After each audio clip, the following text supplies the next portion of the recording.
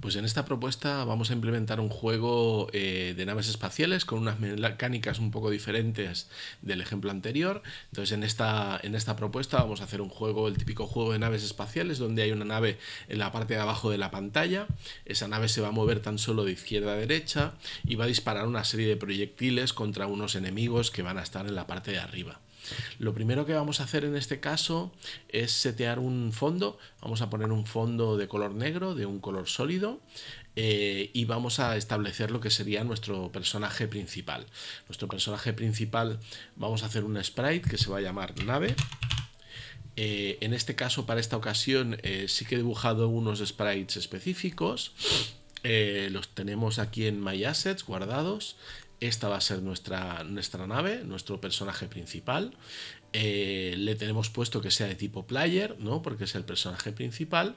Y vamos a hacer que empiece en la parte de abajo de la, de la pantalla. Para eso lo que vamos a hacer es, es establecer la, posición inicial en eh, esta parte de abajo. Hacemos un clic aquí en la X y en la Y y nos aparece esta cuadrícula y vamos a ponerla pues más o menos eh, por aquí a ver, sería la mitad sería 80, pues sobre el 80 y el 100, ahí va a estar. Entonces, al empezar en este evento de OnStart, que es el evento donde se, inicia, donde se inicializan todas las cosas, se va a establecer ese fondo negro, se va a establecer esta, esta nave en la parte de abajo, vamos a establecer un par de enemigos por ahora, de la misma forma, set sprite, eh, le vamos a llamar enemigo 1, enemigo 1. Eh, le vamos a establecer un sprite que ya tengo prediseñado, como puede ser este. Eh, este en este caso va a ser de tipo enemy, de tipo enemigo. Y vamos a, a setear un segundo enemigo, lo vamos a duplicar, le vamos a cambiar el nombre. Y en este caso, este segundo enemigo en vez de tener una imagen fija, va a tener una imagen animada. Entonces le ponemos cualquier imagen fija, pero nos vamos a la sección de avanzado, animación, y aquí en animación le decimos qué animación queremos que tenga. ¿no? Esta animación eh, va a ser para enemigo 2. La animación yo la tengo guardada, que ya la tenemos hecha, que es una animación de dos fotogramas, que es esta de aquí. Apretamos el play y vemos cómo queda animada. Eh, le damos a OK, entonces esta animación se va a realizar a 200, eh, con un intervalo de 200 milisegundos y le vamos a activar el loop para que esté loopeada, es decir, para que esté todo el rato haciendo la animación en, en bucle, ¿no? Así va a parecer que es un, como una abejita que se va moviendo. Ahora mismo tanto el enemigo 1 como el enemigo 2 están, están puestos aquí uno encima del otro. Yo, yo creo que posiblemente lo ideal sería pues, situarlos en otro sitio por ahora. Así que vamos a decirles también que le vamos a cambiar la posición tanto a uno como a otro. Le vamos a cambiar la, posición. A ver, este va a ser para el enemigo 1. Vamos a duplicar este script y lo vamos a poner aquí debajo. El enemigo 2 y tanto uno como otro lo vamos a poner en, la parte de arriba. Uno va a venir por aquí y el otro va a venir por aquí. Vale, pues ya los tenemos, ya tenemos puesto el personaje principal, ya tenemos puesto uno de los enemigos, el otro de los enemigos, y ahora vamos a ver, y aquí es donde viene la novedad, cómo se va a mover este personaje principal. En, ejemplos anteriores lo que hemos hecho es establecer este de aquí, el, mover eh, con, los botones, ¿no? Le decimos que la nave la mueva con los botones, ¿no? Pero en este caso no queremos que la nave se mueva arriba o abajo, sino que tan solo queremos que la nave se mueva de em, izquierda a derecha, así que este elemento no nos va a servir. Vamos a hacerlo de dos formas distintas para que veáis eh, dos formas diferentes de proceder. Ah, la primera sería utilizar el, evento este de cuando se pulsa un botón.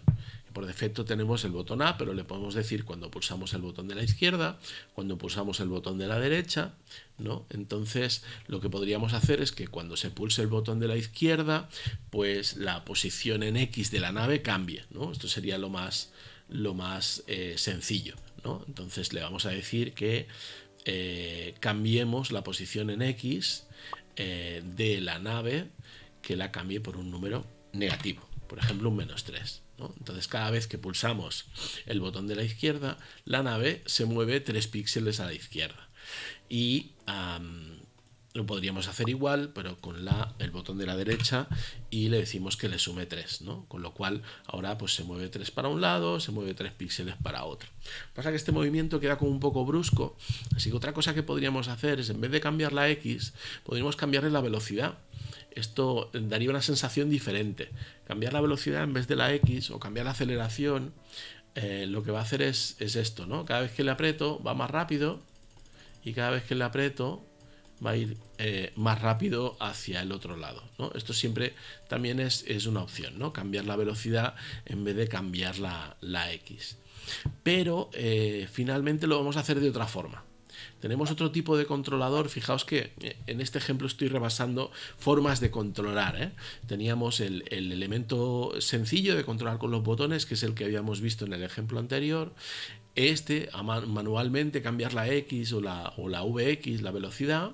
Y después tenemos este, que sería mapear el DX. El DX es el diferencial entre derecha e izquierda, ¿no?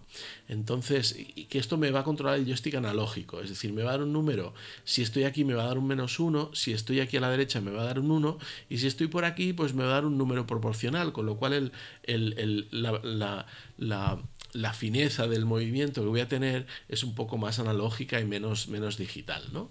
Entonces esto lo que vamos a hacer es mapearlo a tiempo real, ¿no? En un Game Update, que era ese evento que habíamos visto en el ejemplo anterior, pero no habíamos llegado a usar, este Game Update se, llama eh, a cada tick, es decir, a cada, frame que se, ejecuta el, update del juego. La actualización es un bucle infinito. Entonces le vamos a decir que, por ejemplo, la, velocidad de, X eh, de la nave, esa velocidad en X, eh, esté cambiada en función de eh, lo que apretamos en los, en los botones. Así que si le damos muy a la derecha va a cambiar muy rápido, si le damos muy a la izquierda va a ir un poco más lento. Entonces aquí podemos controlar con un poco más de suavidad cuál es el movimiento que queremos. ¿no? De hecho aquí si pulsamos este más le podemos decir por cuánto queremos que la escale. ¿no? Y aquí podemos eh, ir calibrando la, la, fineza con la que queremos que, que reaccione el elemento. ¿no? son, son, diferentes formas de controlar eh, el, el, sprite en pantalla. Eh, eh, ya sea pues eso, ¿no? pulsando de forma digital o con este diferencial. Bueno, más o menos, lo vamos a dejar aquí y ahora vamos a proceder con lo siguiente. ¿no? Esta nave, cuando pulsamos el botón A, queremos que dispare un proyectil. ¿No? Entonces, disparar un proyectil, vamos a decirle que esto va, a suceder con el evento de, de, cuando pulsamos el botón A. Cuando pulsamos el botón A, queremos que se cree un proyectil que sale disparado para arriba. ¿Cómo creamos un proyectil? Pues igual que creamos cualquier sprite. ¿vale? Le vamos a decir que vamos a hacer un sprite nuevo que se va a llamar. Proyectil. Vamos a poner la P mayúscula para seguir la misma nomenclatura. Vamos a buscar la imagen del proyectil, que la tenemos aquí dibujada. Y eh, le vamos a decir que esta es de tipo proyectil. ¿Vale? Entonces, en el momento en que pulso la se va a crear un proyectil. ¿no? Yo aprieto aquí, ¡pam! Se va a hacer un proyectil. Bien, pero este proyectil quiero que salga disparado, que suba para arriba. Así que le vamos a decir que eh, en el momento que se crea el proyectil, le vamos a establecer la velocidad en Y del proyectil a eh, negativo, ¿no? menos 5, por ejemplo. Entonces, en el momento que aprieto la A, se crea un proyectil, ese proyectil tiene una velocidad en Y negativa, con lo cual sale volando para arriba. Vamos a ponerle un poco más, que es muy lento, menos 15, ¿vale? Y entonces ya lo tenemos, ¿no? Yo pulso la A y ¡pam! sale el proyectil para arriba. Bien. Lo que pasa es que ese proyectil ahora mismo está saliendo de ahí del centro, ¿no? De hecho, le es igual donde esté la nave, porque está saliendo siempre del medio de la pantalla, ¿no? Así que otra cosa que tendríamos que hacer es que ese proyectil debería salir desde la misma posición donde está la nave. Así que le voy a establecer la posición X y Y a la misma posición X y Y que tenga la nave. ¿no? Entonces aquí lo que voy a hacer es irme a Sprite y decirle que me coja la X de la nave, nave X, y que me coja la Y de la nave. ¿no? Entonces ahora mismo cuando pulso la A se crea un proyectil que se mueve solo, que sube para arriba y sale de la misma X y donde está la nave. ¿no? Veis que sale de, de esa parte de arriba. Está un poco, está un poco descentrado. Vamos a cambiarlo y lo vamos a cambiar pues pues con un, con un, bloque de mates. Los bloques de mates, los de lógica y lo de los, los, bloques de bucles, son bloques como transversales que nos van a servir para hacer muchas cosas, ¿no? Entonces, en este caso, esto lo vamos a arreglar con una resta. La, la, la X de la nave le vamos a restar 1 para que salga un poco más a la izquierda. Y, y, la Y también quiero que salga un poco más arriba, así que también vamos a tener que restarle. Cogemos la i de la nave, que es esta de aquí, le vamos a restar, pues creo que restándole 4 o 5 va a ser suficiente. Y yo creo que ahora ya saldrá más o menos del sitio donde quiero. ¿eh? Ya los tenemos ahí. Entonces ahora sí que muevo la nave ¿no? y voy disparando y van saliendo los proyectiles. La nave se me escapa, se me escapa por la, por la izquierda. Vamos a ponerle Aquí podríamos hacer dos cosas. ¿eh? En el ejemplo anterior le pusimos a la nave una, un atributo que era este de aquí, que era el de que esté in screen, que se quede en la pantalla. Eh, o incluso podríamos ponerle uno que rebote, que esto puede ser muy divertido. El, el, rebote lo que hace es que cuando la nave se pasa por la derecha, a ver si carga, cuando la nave se pasa por la derecha, le, le, rebota, le cambia la velocidad y se la invierte. ¿no? Cuando viene por aquí, llega, ¿no? Estoy disparando por ahí, llega aquí, pop, y rebota y vuelve para atrás. ¿Vale? Con lo cual esto puede ser, puede ser divertido. Bien, pues, pues ahí lo tenemos, ¿no? Ya tenemos la nave que se mueve izquierda a derecha, los proyectiles que se disparan. Ah, nos faltaría hacer las colisiones, ¿no? Nos faltaría hacer las colisiones para que cuando los enemigos reciben ese proyectil, pues desaparezcan o me sumen puntos o lo que sea. Entonces esas colisiones ya las habíamos visto, que las hacíamos con, con el overlap, ¿no? este de aquí, este evento que, que se, se, llama, ¿no? se genera de forma automática cuando hay una, una, superposición entre un elemento y otro, y en este caso la superposición va a ser entre un elemento que es de tipo proyectil y un elemento que es de tipo enemigo. Y aquí tenemos una cosa muy interesante y es que proyectil va a haber muchos, enemigos va a haber muchos y diferentes, pero como este overlap funciona por tipo de elemento, eh, me va a servir para todos. Me va a servir, yo lo voy a programar ahora y me va a servir para todos los proyectiles y para todos los enemigos. Así que em, lo único que tengo que hacer es que, pues, bueno, cuando, cuando ese, ese proyectil ha impactado en en, dentro de un enemigo, pues vamos a hacer que el enemigo se destruya, que era un elemento que teníamos por aquí, en efectos, ¿no? Destruir. Tenemos que destruir el Other Sprite, que es el enemigo. Lo vamos a destruir con un efecto de sprite, me parece perfecto. Y el, el proyectil también deberíamos destruirlo pero en este caso le voy a decir que se destruya sin, sin efectos. ¿no? Entonces fijaos cómo arrastro el sprite. Cuando hablo de sprite estoy hablando del proyectil y cuando hablo de other sprite estoy hablando del enemigo. Entonces ya lo tenemos, ¿no? Esto de forma automática me va a servir para todos los enemigos y para todos los, los para todos los, los proyectiles. Vamos a irnos para allá, vamos a disparar. Fijaos cómo hace un sprite hace como un efecto de spray y después el, proyectil que ha impactado desaparece. Entonces ya, ya lo tenemos bastante, bastante cuadrado. Eh, fijaos que hemos visto un sistema de movimiento diferente, hemos hecho proyectiles, los proyectiles impactan, al impactar desaparecen. Y ahora para acabar de, bordar el ejemplo, vamos a hacer una cosa que no es necesaria, pero que, me hace ilusión hacer, que sería hacer un fondo, ah, pero hacer un fondo un tanto especial. Vamos a hacer eh, un fondo de estrellado, ¿no? Como si hubiera un, el espacio exterior detrás, ¿no?